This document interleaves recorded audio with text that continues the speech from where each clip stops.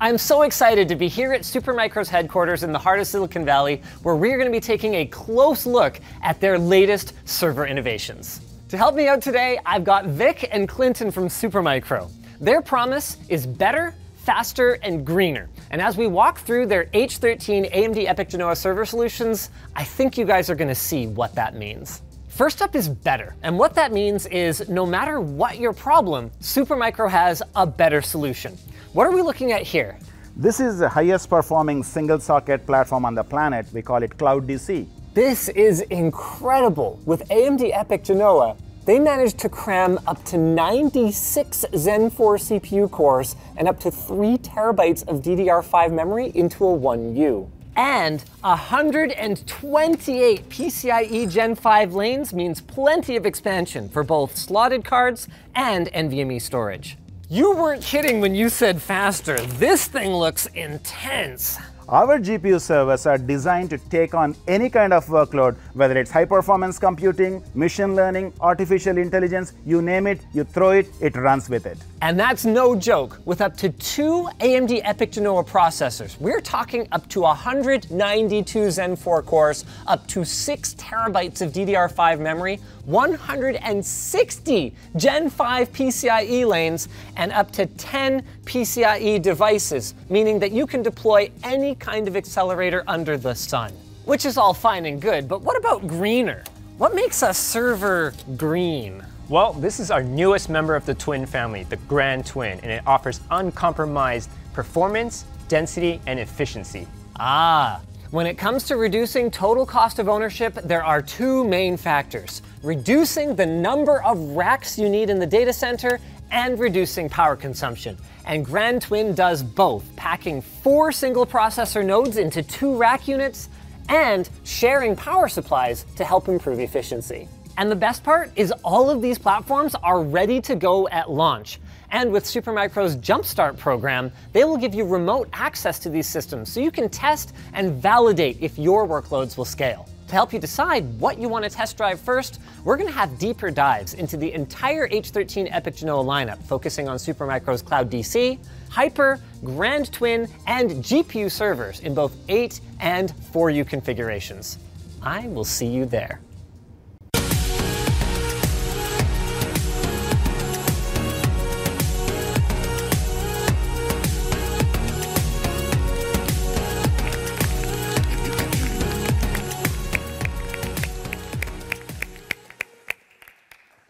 Merci à tous d'être encore là pour la keynote de clôture. On voit qu'on a perdu un peu de monde, mais merci d'être là parce qu'on a un sujet encore important à aborder avec vous, puisque comme vous le voyez, nous allons accueillir Elisabeth Moreno sur scène dans quelques instants. Elisabeth Moreno, qui est ancienne ministre de la diversité et de l'égalité des chances, et qui poursuit son engagement aujourd'hui euh, à travers deux fondations, euh, la Fondation Femmes Numérique et l'EIA. Donc je la laisserai euh, présenter ces deux institutions. Euh, je l'ai contactée il y a quelques temps, Elisabeth Moreno, dans le cadre euh, de notre euh, initiative Voice Offer, et j'ai été positivement surprise puisque je l'ai contactée via LinkedIn. Alors j'ai une petite anecdote à partager avec vous. Depuis ce matin, on a parlé d'intelligence artificielle.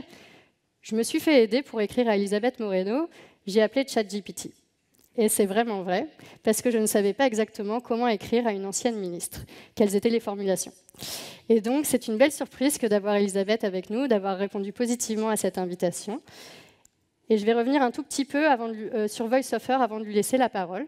Donc, je vous le disais ce matin, on a engagé ce projet depuis 2022 autour de la représentation des femmes dans la filière du numérique. Et euh, on a commencé par un événement assez simple. C'était une table ronde où on a invité des femmes des SI à se joindre à nous pour les écouter. Donc pendant une matinée complète, on les a laissés parler de leur parcours, de leurs obstacles, de leurs besoins, de ce qu'elles pensent être le futur pour les femmes dans l'industrie. Et c'était très enrichissant. À partir de là, un, des apprentissages qu'on avait eu, c'était qu'on manque de rôle modèle. On ne connaît pas suffisamment de femmes qui ont particulièrement réussi dans l'industrie IT, et c'est dommage, et parce que ça permettra à d'autres de se projeter dans l'avenir. Donc la deuxième étape de notre action, ça a été d'aller écrire des portraits sur ces femmes engagées et on les a publiés sur notre blog. Donc si vous êtes intéressé, je vous invite à aller les lire. C'est très instructif.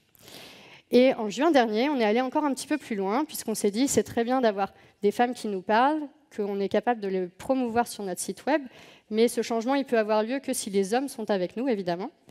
Et on s'est dit qu'on allait se faire accompagner par une experte. Donc on a eu euh, la joie d'avoir euh, Laura Le Sueur en masterclass en juin dernier. Laura Le Sueur, c'est la créatrice euh, du podcast Legend Ladies. Et donc elle nous a partagé beaucoup de bons conseils pour pouvoir passer à l'action au sein de, l'industrie.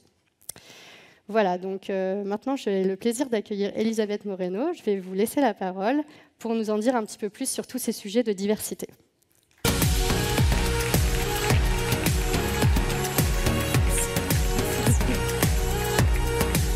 Bonsoir. Bonsoir, bonsoir, bonsoir. Alors je sais, j'ai fait beaucoup de ces séquences et je suis extrêmement heureuse que vous soyez encore aussi nombreux à la fin de cette journée. Mais je crois que c'est parce qu'il pleut dehors et que c'est pas euh, plus agréable qu'à l'intérieur. Et je voudrais vous dire, Laurence, que je n'ai pas répondu à votre invitation grâce à ChatGPT. J'ai répondu à votre invitation parce que je sais quel est votre engagement sur ce sujet et c'est ce qui nous rassure et qui nous dit que peut-être il n'est pas encore temps que les outils remplacent les femmes et les hommes. Mesdames et messieurs, bonsoir à toutes et à tous. C'est un vrai plaisir pour moi d'être ici avec vous ce soir. Euh, chez Nutanix pour ce Next on Tour.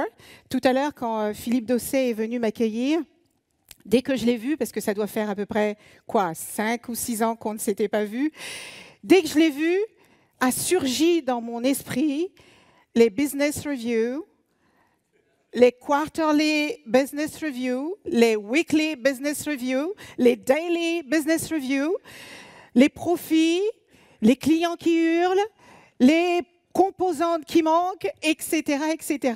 Et bizarrement, j'en ai ressenti un grand plaisir. Donc ça veut dire, soit je suis un peu maso, soit le monde de la tech me manque plus que je ne saurais l'admettre. Et merci, merci. Et je voudrais véritablement remercier euh, Guillaume André d'avoir permis l'organisation de cette séquence de Voice of Her. Et comme je vous le disais tout à l'heure, Laurence Lepellet pour euh, son engagement et son leadership sur ces questions, parce que je suis bien placée pour le savoir. Euh, ces thématiques ne peuvent avancer qu'avec des engagements de personnes, qu'ils soient femmes ou qu'ils soient hommes, pour pouvoir faire avancer ces sujets sur lesquels on vient de loin, de loin et de très loin. Je vais partager avec vous quelques réflexions importantes sur la place des femmes dans le numérique. Ces réflexions sont basées à la fois sur mon expérience de 20 ans dans le monde de la tech. Euh, j'ai parlé tout à l'heure de Lenovo, mais j'ai aussi travaillé chez Dell, j'ai travaillé chez HP et ma dernière fonction, avant de rejoindre le gouvernement de Jean Castex, je dirigeais euh, le groupe Hewlett Packard pour le continent africain. Mais avant de commencer, J'aimerais vous poser quelques questions, histoire de réveiller un peu la salle et d'avoir tout le monde avec moi. Levez la main si vous savez qui est Sam Altman. Oh, je m'attendais à plus. OK. OK. Sam Altman était jusqu'à il y a quelques jours le patron, le CEO de OpenAI, qui a donné naissance euh, à ce fameux chat GPT qui nous a tous réveillés tout d'un coup. On s'est dit, mince, non seulement les personnes qui ont des métiers euh, qui ne sont pas les métiers, euh, vous savez, ceux auxquels on donne le plus de considération, donc non seulement certains métiers vont être remplacés par les robots, mais Aujourd'hui, on peut se dire que des avocats, des consultants, des, radiologues peuvent aussi voir leur métier remis en question du fait de l'intelligence artificielle. Alors maintenant, levez la main si vous savez qui est Mira Mourati. Ah, bravo. Vous, vous méritez une bouteille de champagne. Qui d'autre? Ah, quand même, quelques-uns. OK. Mira Mourati est la numéro 2 d'OpenAI, mais j'ai vu certains articles dire que, en vérité, c'est elle qui a développé tout l'outil, mais que c'est Sam qui a récolté tous les honneurs. Je ne sais pas si c'est vrai, je n'étais pas là, mais bon, comme il n'y a jamais de fumée sans feu. Alors j'imagine que chacune et chacun d'entre vous ici savez qui est Alan Turing. OK? Super. Mais qui sait qui est Ada Lovelace? OK. Qui sait qui est euh, Heidi Lamar? OK? Ça se réduit de plus en plus. Qui sait qui est Catherine Johnson? OK. Eh bien, figurez-vous que sans ces trois femmes, le codage informatique n'aurait probablement pas existé, que les Américains ne seraient probablement pas allés sur la Lune, pardon, ou en tout cas pas au moment où ils l'ont fait, et que peut-être que le Wi-Fi n'existerait pas. La raison pour laquelle je voulais revenir un peu sur l'histoire, c'est parce que le nombre de femmes qui travaillent dans la tech aujourd'hui pourrait laisser penser que celles qui y parviennent le font par accident. Et on pourrait penser que la tech est un domaine réservé aux hommes, mais ça n'est pas le cas. Et même si aujourd'hui nous avons moins de femmes qui travaillent dans la tech qu'il y a 30 ans, eh bien c'est une véritable anomalie parce que les femmes de tout temps et de toute époque ont su créer, inventer, innover dans le secteur du numérique. Mais elles ont été tellement invisibilisées qu'elles ont fini par croire, ainsi que certains parents et certains professeurs, qu'elles n'y avaient pas leur place. C'est pourquoi je tenais à vous adresser aujourd'hui un message qui, je crois, est d'une importance capitale. Euh, Henri Dagrin, qui est le patron du SIGREF que certains d'entre vous ici connaissent probablement, dit même qu'il y a une urgence dont on ne se rend pas compte. Et c'est pour ça aussi que j'aimerais vous faire réfléchir, mais pas seulement réfléchir, il faudrait que nous passions collectivement à l'action sur ce sujet, parce que chacune et chacun d'entre vous dans cette pièce avait un rôle à jouer pour rendre ce monde numérique plus équitable, plus équilibré et peut-être aussi plus souhaitable. Non pas pour des raisons éthiques ou morales, parce que ces motivations ne portent pas de fruits, mais pour des raisons de compétitivité, de performance nationale et aussi de justice sociale. Alors, je vais vous poser une question plus simple que tout à l'heure. Levez la main si vous avez une fille. Ah, OK. Levez la main, gardez la main levée, ceux qui ont. Levez la main si vous avez une sœur. OK? Et levez la main si vous avez une nièce. OK? Tout le monde est concerné par ce que je vais dire. OK?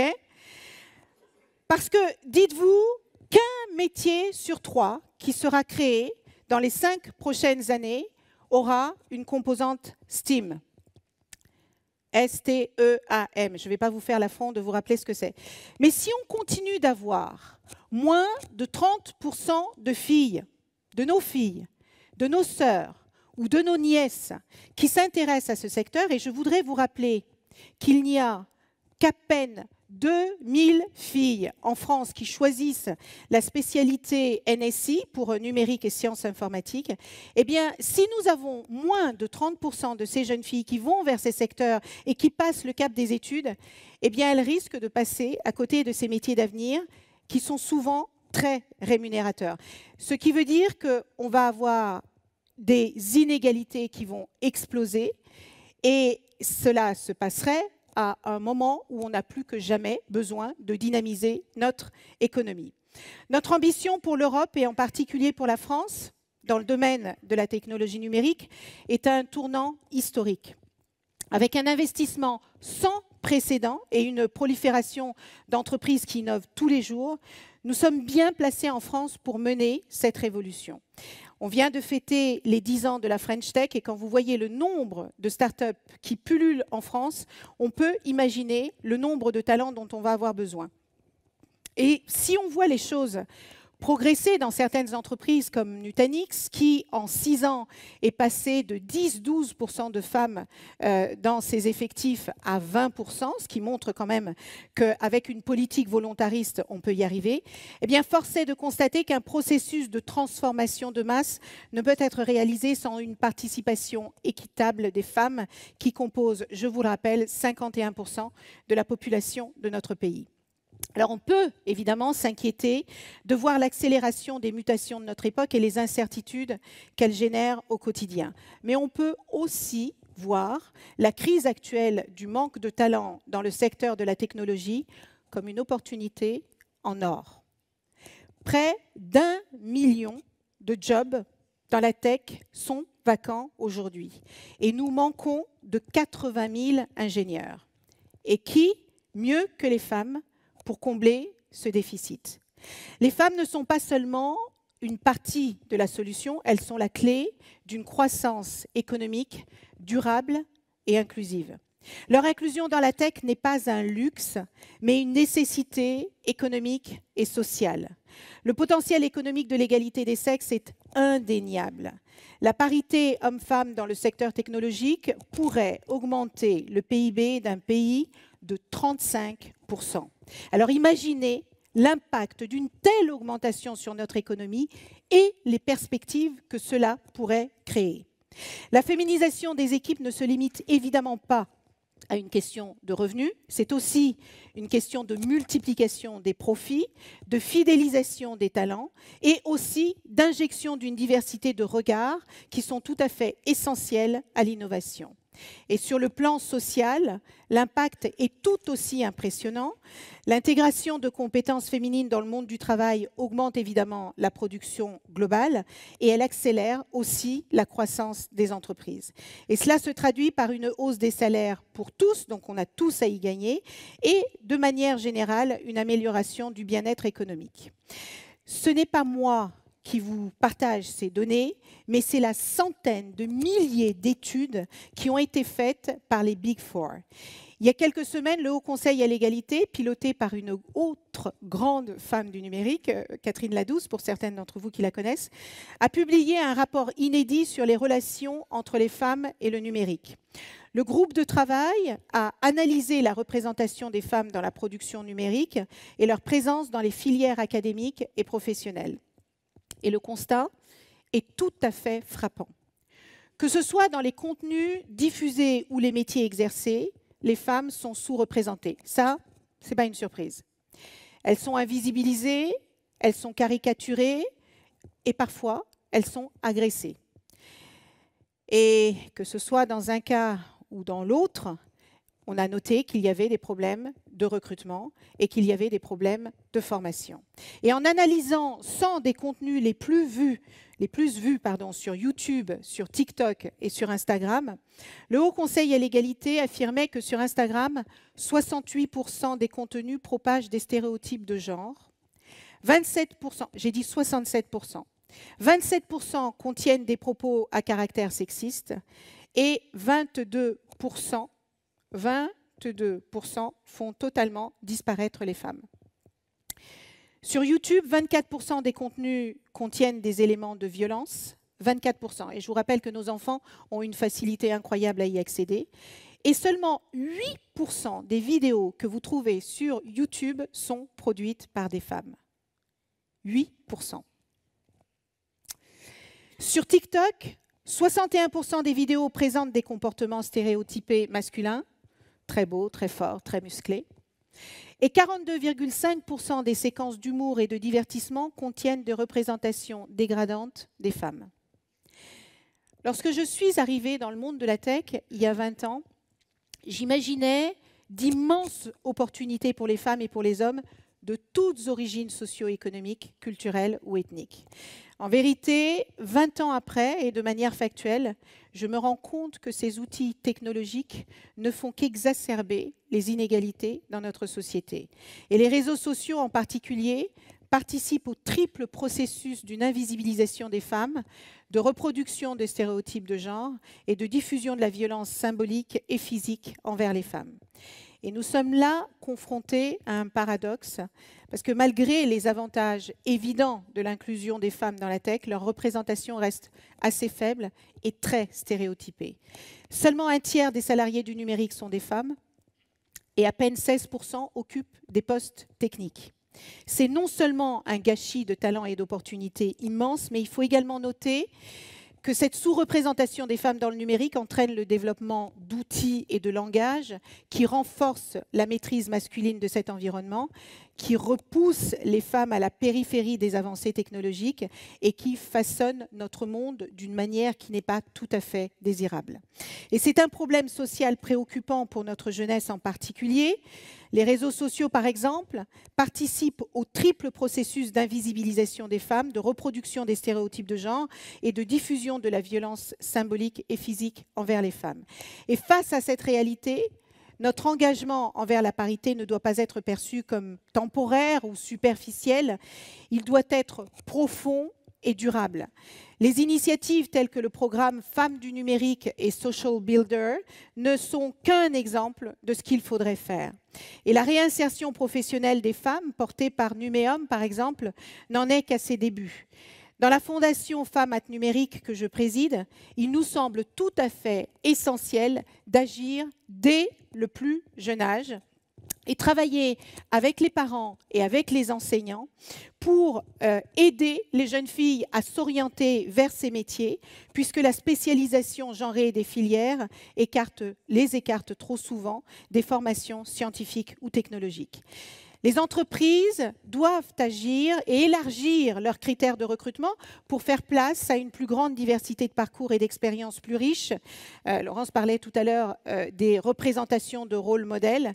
Il faut valoriser les différents parcours professionnels successful et recruter des profils de tous les âges, parce que je vous le rappelle, il n'y a pas d'âge pour être un geek. Et pour y parvenir, il est essentiel de mettre en place des, actifs, des actions pardon, et des dispositifs d'accompagnement pour faciliter l'accueil et l'intégration des talents en reconversion, notamment vers le numérique. Et cette question de discrimination liée à l'âge concerne autant les femmes que les hommes, et c'est pour ça que nous devrions tous nous y intéresser. Cela inclut également le soutien à la mobilité interne, la mise en place des ressources et des actions de formation nécessaires pour assurer des parcours individuels d'évolution interne et la sensibilisation de nos salariés aux pratiques qui favorisent l'inclusion et l'égalité des sexes. En outre, je pense qu'il est extrêmement important de reconnaître et de surmonter les obstacles systémiques qui entravent l'accès des femmes aux métiers de la tech. Cela passe notamment par euh, un changement culturel au sein des entreprises et des institutions éducatives. Il nous faut dire concrètement aux jeunes filles quels métiers se cachent derrière les STEM. Il faut que nous leur rappelions systématiquement qu'avec les STEM, on peut former, on peut informer, on peut protéger, on peut soigner, on peut faire de la musique, on peut faire du cinéma, on peut faire de l'économie, de l'architecture, on peut tout faire avec le numérique. Mais tant qu'on les éloignera de ces opportunités-là, eh bien, elles ne sauront pas les imaginer seules, puisque vous savez que nous sommes la somme des cinq personnes qui nous entourent. Il suffit qu'il n'y ait personne dans la tech autour de nous pour qu'on ne pense même pas que ces jobs soient possibles pour nous. Nous devons également déconstruire les stéréotypes de genre, expliquer aux parents, à nos filles et à nos garçons que les métiers n'ont pas de genre, et nous devons encourager les jeunes filles à s'engager dans des parcours scientifiques et technologiques dès le plus jeune âge. Enfin, je tiens à souligner l'importance de la solidarité et du mentorat. Les femmes leaders dans la tech doivent être des modèles inspirants qui sachent guider les prochaines générations. Nous devons créer des réseaux de soutien, des programmes de mentorat et des espaces où les femmes peuvent partager leur expérience et apprendre les unes des autres. Et je crois que c'est là l'un des objectifs de Voice of Her et vraiment je vous félicite pour ça. Je crois également beaucoup au rôle positif des hommes dans ces changements culturels qui sont en cours. Tout au long de mon parcours dans le monde de la tech, j'ai été mentorée par des hommes tout à fait admirables. Je pense à Christophe Burkhardt, je pense à euh, André Botson, je pense à Olivier Robin, qui m'ont encouragée dans les moments où j'ai douté, qui m'ont transmis leur savoir et qui m'ont fait confiance quand j'en avais le plus besoin. Et ça, ça peut aller véritablement dans les deux sens. Il y a quelques jours, j'ai euh, échangé avec euh, Jean-Christophe Morisseau, qui était là, je crois, tout à l'heure, et il me disait qu'il était convaincu que les hommes avaient un rôle extrêmement important à jouer, et j'en suis convaincue puisque vous êtes 60% euh, de, ce monde euh, technologique, et 70 euh, même, et je pense qu'il n'y a aucune discrimination que seules les personnes discriminées peuvent porter. Il faut que nous soyons nombreux à nous y intéresser et encore une fois, nous pouvons tous y gagner. Mesdames et messieurs, J'espère vous avoir convaincu que chacune et chacun d'entre nous, ici dans cette pièce, peut agir pour réduire la fracture numérique de genre et construire un monde numérique qui soit beaucoup plus inclusif. L'inclusion des femmes dans la tech n'est pas seulement un impératif économique et social, c'est une vision pour un avenir où l'innovation et l'éthique et même l'équité se renforcent mutuellement pour créer une société qui soit plus juste, plus prospère et plus désirable. Et je suis convaincue qu'ensemble, nous avons le pouvoir et la responsabilité de faire de cette vision une réalité. Je vous remercie pour votre engagement et pour votre soutien dans ce travail ô combien important.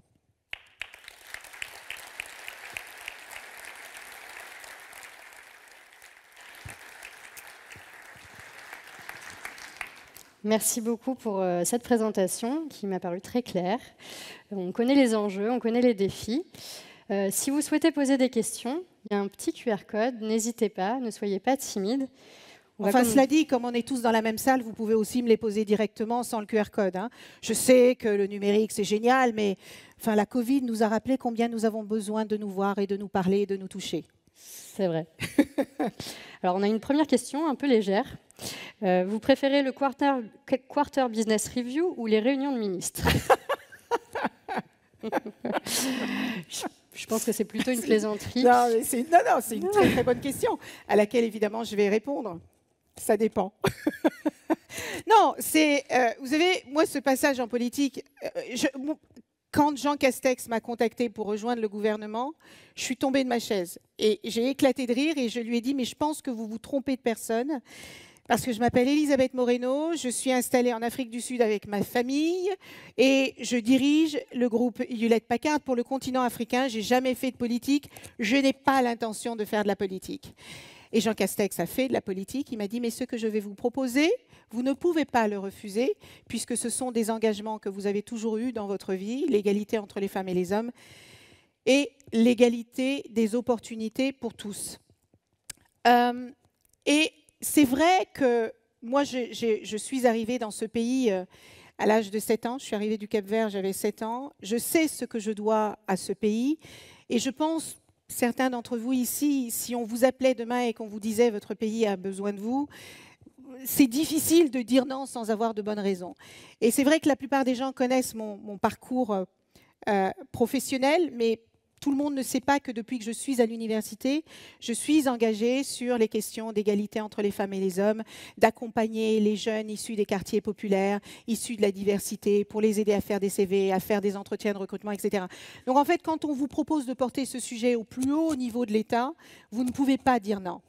Ce que je ne savais pas, c'est la violence du monde politique. Et j'ai adoré porter les causes que j'ai portées, j'ai adoré aller dans les conseils des ministres pour défendre les droits des femmes, pour euh, faire en sorte que, que vous veniez des territoires ultramarins, des zones rurales, des quartiers populaires, qu'on puisse que la politique publique puisse vous embarquer dans tout ce qu'elle fait. Et j'ai détesté la violence en politique. Donc, euh, les quarterly business reviews sont plus agréables que discuter avec certains partis. Très bien. Alors, je ne vois pas beaucoup d'autres questions pour le moment. Par contre, euh, moi, j'en ai une sur laquelle vous vous exprimez régulièrement et qui fait beaucoup débat, qu'on entend régulièrement. C'est quota ou pas quota pour faire hmm. bouger les lignes? C'est une très bonne question. Euh, lorsque j'étais plus jeune, je détestais l'idée d'être recrutée parce que je suis un quota, parce que je suis une femme, parce que je suis noire, parce que j'ai un handicap. Je trouve que c'est extrêmement humiliant de dire à une personne, je te recrute parce que je dois te recruter, parce que sinon je vais payer une pénalité. Dites-vous bien que personne, personne n'a envie d'entendre ça. Ce qui me tenait à cœur, c'était d'être recruté pour mes compétences, pour mes capacités, pour, mes diplômes, pour mon expertise, pour mon expérience, pour mon caractère, pour ma motivation, mais certainement pas parce que je, je suis un quota. Ça, c'était il y a 30 ans. 30 ans plus tard, il y a moins de femmes dans la tech qu'il n'y en avait à l'époque. Et pire, on fait moins bien que certains pays émergents. On fait moins bien que certains pays émergents. On fait moins bien que les pays euh, du Maghreb. Je ne sais pas si vous le savez, mais il y a beaucoup d'entreprises que vous connaissez très bien, Atos, Capgemini, j'en passe, tous, hein, qui vont aller recruter euh, soit en Tunisie, soit au Maroc, parce que nous, on n'a pas assez de talent. Vous dites, mais c'est quand même dingue. Ça, c'est déjà pour moi, c'est pas acceptable. Première chose. Deuxième chose, la première loi pour l'égalité entre les femmes et les hommes d'un point de vue salarial a été votée en 1972. 1972. Plus de 50 ans plus tard, il y a encore des écarts de salaire entre, allez, entre 5 et 20 entre les femmes et les hommes. On a 40 magnifiques grands groupes français et seulement 3 femmes qui dirigent ces groupes. Alors vous pourriez me dire, aucune autre femme n'est assez compétente, assez diplômée, assez capable, assez motivée. Aucune. Aucune. 40 grands groupes et 3 femmes qui les dirigent. Quand on a voté la loi Copé-Zimmermann, on avait 9% de femmes dans les conseils d'administration. 9%. En 10 ans, on est passé de 9 à 45%. Pourquoi? Parce qu'il y a eu des quotas. Sauf que ces quotas ne sont pas descendus jusqu'au niveau des COMEX et des CODIR. Et donc, j'ai défendu becs et ongles la loi de Marie-Pierre Rixin pour les quotas dans les COMEX et les CODIR, pas pour enlever les jobs aux hommes. Vous avez tellement d'avance que d'ici à ce qu'on arrive à vous enlever votre job, il va y avoir de la marge. Mais simplement pour que les femmes qui ont du talent, qui ont des compétences, qui ont de l'expertise, qui ont envie de réussir, aient les mêmes chances de réussir que les hommes. Donc, il y a 30 ans, je n'étais pas pour les quotas parce que j'espérais que l'intelligence ferait que les choses se feraient naturellement. Et je me rends compte aujourd'hui que les quotas, sont, les quotas sont un mal nécessaire. Et j'espère qu'un jour, on n'aura plus à dire à une femme, tu as été recrutée parce que tu es un quota, mais tu as été recrutée parce que tu es compétente et parce que tu apportes beaucoup à cette entreprise. C'est clair. C'est clair, merci.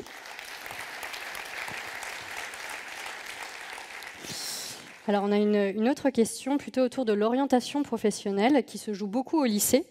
Quelles sont les bonnes idées pour encourager les jeunes filles à tenter l'aventure du numérique? Ah, alors j'espère en avoir un peu parlé dans, euh, dans la première partie de nos échanges. En fait, il y a plusieurs choses. D'abord, il faut que les filles comprennent ce qu'il y a derrière les métiers des STEM. Parce que si vous dites, va vers les STEM, va vers le numérique, mais que vous n'expliquez pas ce que le numérique peut permettre, le sens que le numérique peut donner à nos jobs. Si vous ne pouvez pas expliquer à une jeune fille que grâce au numérique, un enfant qui est dans l'Atlas marocain peut avoir accès à une éducation à laquelle il n'aurait pas accès autrement, avoir accès à des informations, avoir accès, eh bien, elle ne peut pas le deviner toute seule si vous ne le lui expliquez pas. Donc, je pense que c'est extrêmement important de faire en sorte que les jobs derrière le numérique soient concrets et qu'on n'imagine pas que le numérique, c'est juste un garçon un peu fat, les cheveux gras, en jogging toute la journée qui tapote sur son clavier. Ça, c'est la première chose. La deuxième chose, c'est convaincre les parents que les métiers du numérique ne sont pas que des métiers pour les garçons, mais que les filles y ont aussi leur place. Et tous les exemples dont je vous ai parlé de euh, euh, TikTok, d'Instagram, etc., etc., vous montrent combien on a besoin d'avoir une représentation équilibrée hommes-femmes sur ces réseaux parce qu'ils représentent finalement la société dans laquelle on vit. Et puis la dernière chose, vous savez, quand une fille a 14 en maths, elle estime qu'elle n'est pas bonne. Un garçon, avec 12, il va dire Je suis le meilleur. Et donc, il faut prendre en considération le fait que nous ne fonctionnons pas de la même manière, les femmes et les hommes, sur certains de ces sujets. Et il faut un peu plus encourager les filles parce qu'elles viennent d'un peu plus loin avec un peu plus de stéréotypes.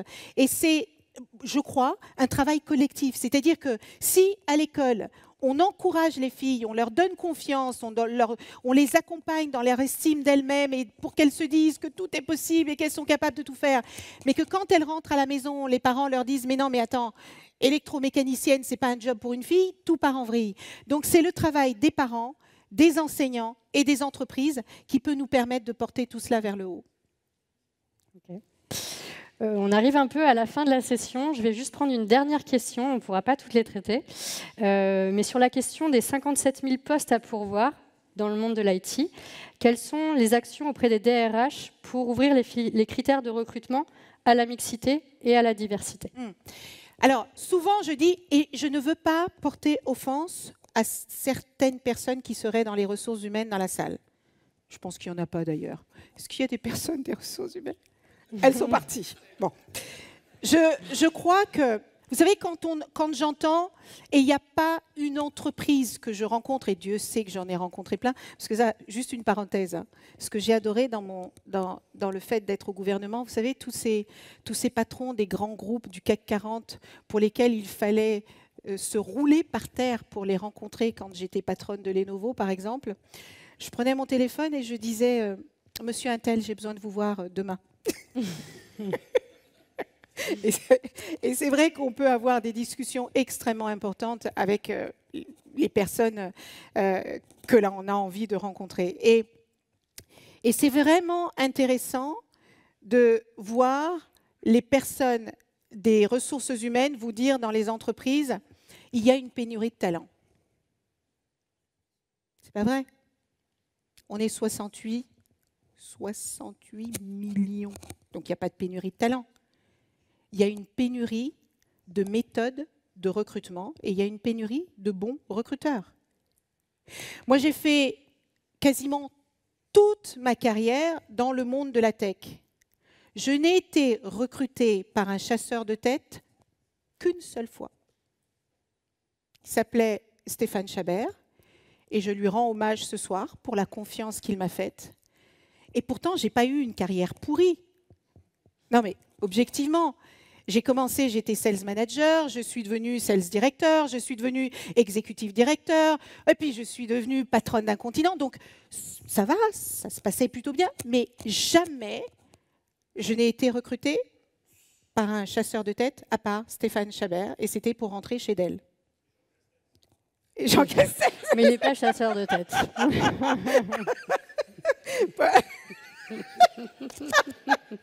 Alors en général, pour ministre, on passe pas par les chasseurs de tête. Mais bref, bref.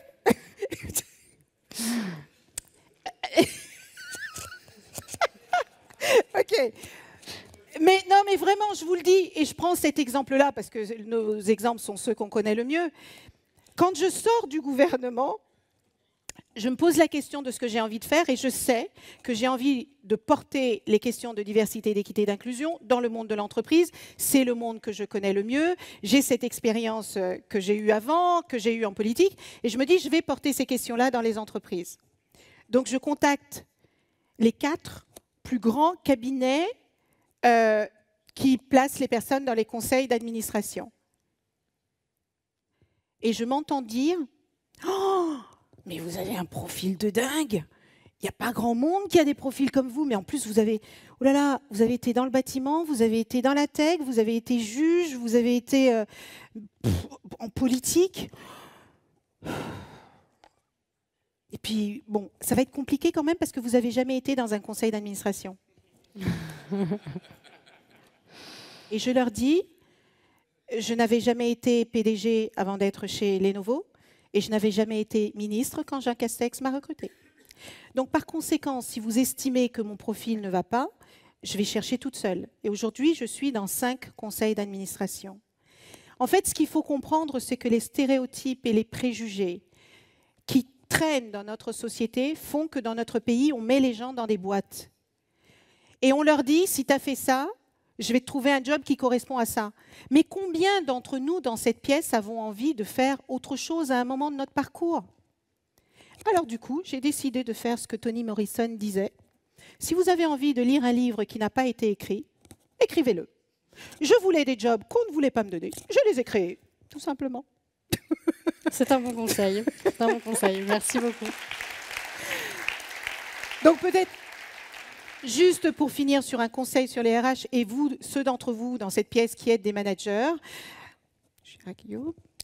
je vous encourage à encourager vos ressources humaines à sortir des sentiers battus, à arrêter de travailler avec les mêmes chasseurs de tête qui vont aller chercher les mêmes profils dans les mêmes écoles, dans les mêmes villes, etc. etc. Il y a des gens brillantissimes dans euh, nos, villes de province, il y a des gens brillantissimes sur les territoires ultramarins, il y a des gens brillantissimes dans les des quartiers euh, euh, populaires.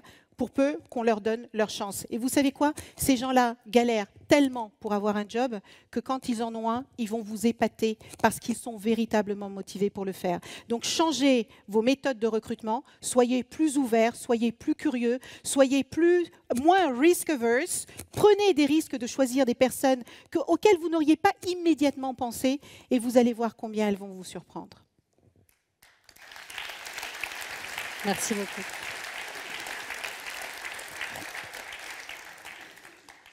Un grand merci pour ce moment. Et puis maintenant, je vais rappeler euh, Guillaume pour qu'on puisse clore cette session. Merci. merci à tous. Bonne soirée. Merci. Très bonne soirée.